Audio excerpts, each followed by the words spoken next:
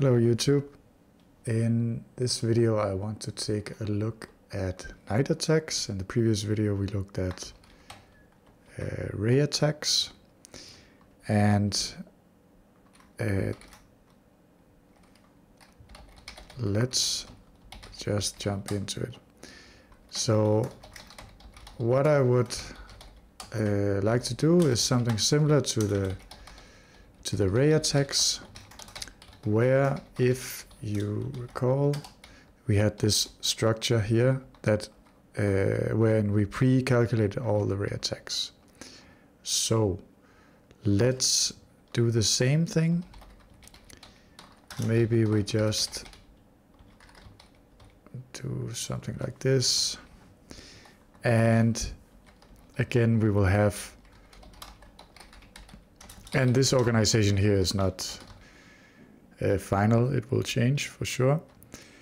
Uh, but for now we, we just want to get something working. So the knight attack structure will just have a list of uh, boards where the bit boards indicate um, which uh, squares the knight can jump from from that. Um, square. So let's do as we always do, set up some tests. And let's see, test, um, yeah. What should we do? First of all, I think I would like this bitboard to string to go into utilities utilities and we will make it a public function. That way here we can say use crate and just knight knight attacks and we can say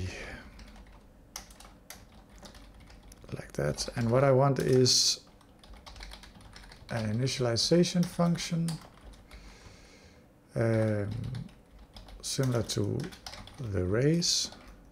If we go here, no, if we go to ray attacks, and then we go here, we have an initialize function, follow the same pattern. And then we'll do something like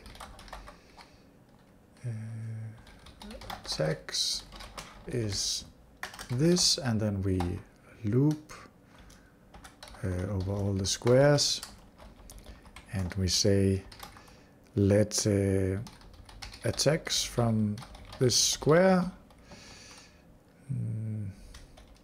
actually let's do something else. Let's do for row and 1 to 8 and up to including 8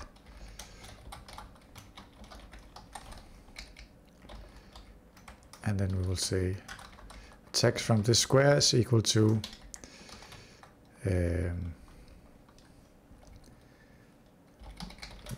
we'll make a function called knight attacks from row column and then we uh, push that.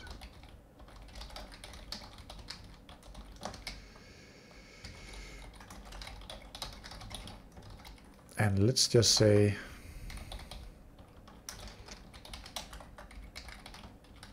that this function tests whether we can even call that thing. And if we now run it,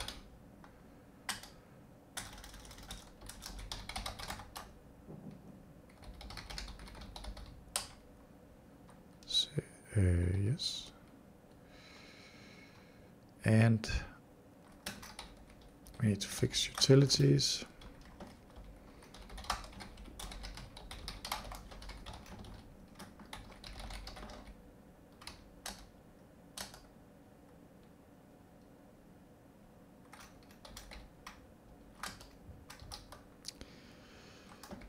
Uh, cannot find function knight attacks. Okay, so it's failing because of this function being undefined. So let us define it. and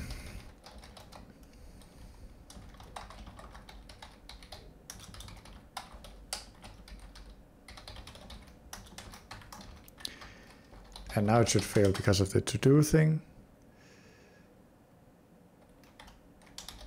Unmatched types. Right, and then here we want to do like this, I guess. Great. Okay. Now, what I want to do is basically say, uh, so what are the attacks? Uh, it's row minus 2, column minus 1, or it's row minus 2, column plus 1, and uh, row minus 1, column minus 2, row minus 1, let's say, column plus 2, and so on. So it's like one is either 2 and the other is 1, and either one can be plus or minus 1. So how do we how do we encode that? Um, we can just say uh, something something silly like this. One, two, one minus two, minus one, two, minus one, minus two, and then two, one, two, minus one, minus two, one. Okay, so we just typed it up. And then we want to say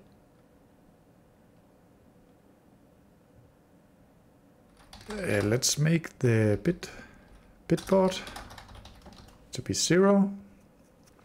And then we want to say for pair and attack pairs,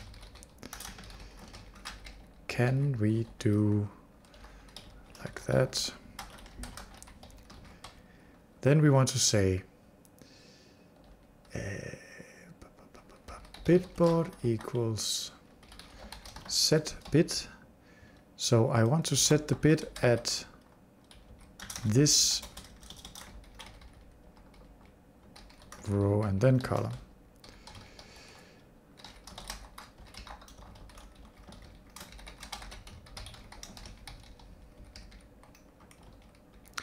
Perhaps this bitboard could become a type on its own rather than just a type alias, but but uh, whatever.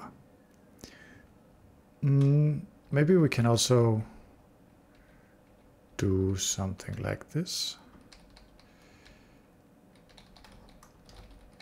Yeah, then return the bitboard.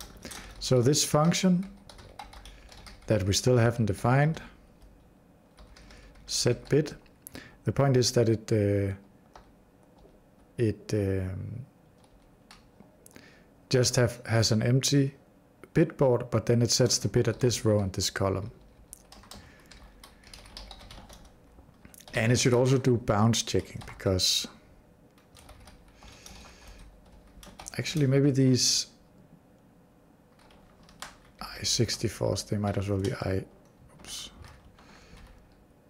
they might as well be i32s. Because they will only go up to, to 8. Anyways, So if row or column is outside the bound, so let's say if if row is less than 1 or row is greater than 8, column is less than 1, column is greater than 8, then we just want to return 0. Otherwise, we want to return um, 1, but at the location where because we assume the column starts at 1, we have to subtract 1 and then plus row minus 1 times 8.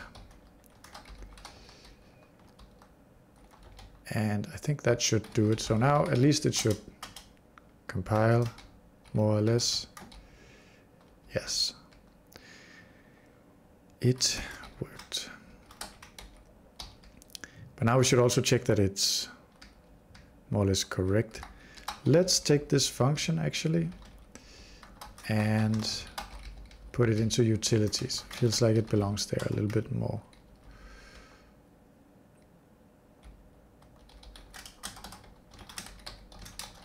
And we go back here. Let's just do like we did before. Yeah, whatever. Print some of them to check. So first we initialize. I'm just gonna copy this guy. And then we say uh, print bitboard.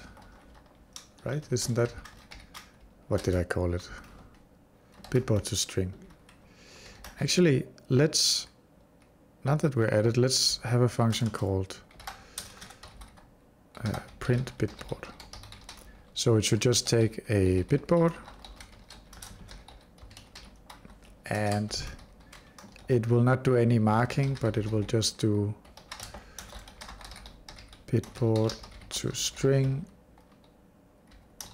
this bitboard and uh, no marker. We, we can have a marker. Let's put a marker. And what's the type? It's usize.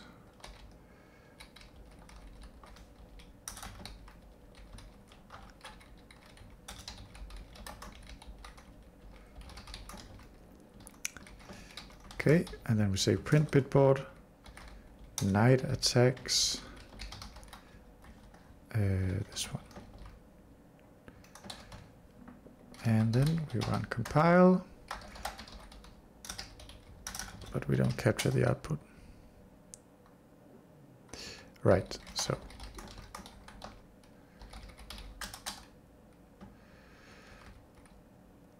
Okay, so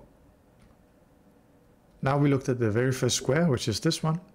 We looked at the knight attacks, so uh, two up, one out, one up, two out, two out, one down, there's nothing there, so this looks correct.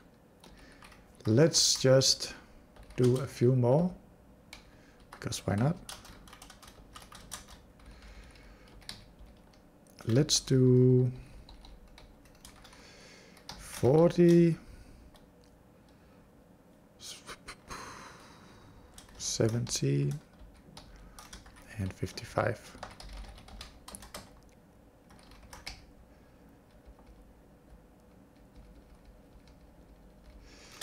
So now actually we do want this.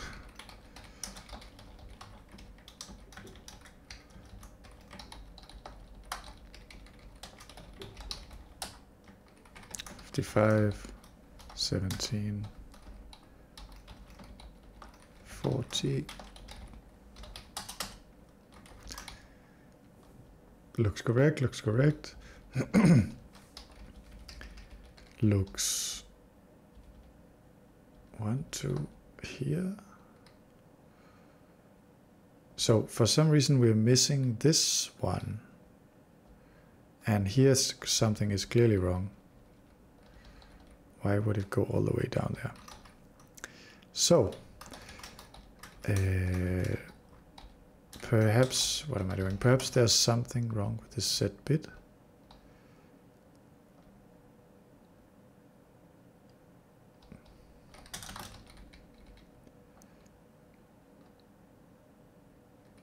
Looks correct enough.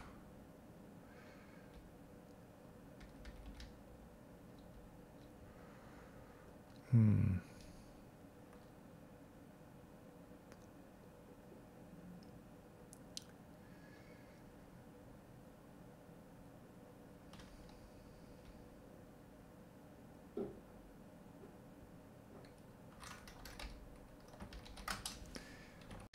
Ah, okay, I found it. So obviously we had 2 and minus 2 here. So that's wrong. It should be minus 1. And now if I run it, correct, correct, correct, and correct. So let's just double check. 111, 222, 222, 111. Great. So I think that's it for this time. Now we have the knight attacks, the ray attacks, and uh, there's no blocking of knight attacks, but still it might be interesting to know if you're taking a piece, but I think we will get to that a little bit later. And next time, let's do the pawn moves without en passant.